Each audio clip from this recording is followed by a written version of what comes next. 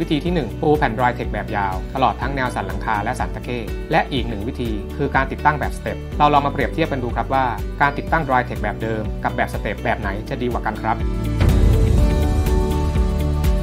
นี่คือการเปรียบเทียบการติดตั้ง Dry Tech ทั้ง 2 แบบ จะเห็นได้ว่าการติดตั้ง Dry Tech แบบยาวตลอดแนวสันตะเข้ถึงจะทำงานได้ไวกว่า แต่ถ้าติดตั้งไม่ดี แผ่นกาวจะกระเด้งออกมา ซึ่งเป็นสาเหตุหลักๆ ที่ทำให้เกิดปัญหาหลังคารั่วตามมา ส่วนวิธีการติดตั้งแบบสเต็ปนั้น ถึงจะช้ากว่า แต่จะเป็นการช้าแต่ชัวร์นะครับ เพราะจะเป็นการติดตั้งในลักษณะของขั้นบันไดแบบแผ่นต่อแผ่น ที่ช่วยให้มั่นใจมากขึ้น ว่าจะไม่มีปัญหาหลังคารั่ว และปัญหาอื่นๆ ที่จะตามมา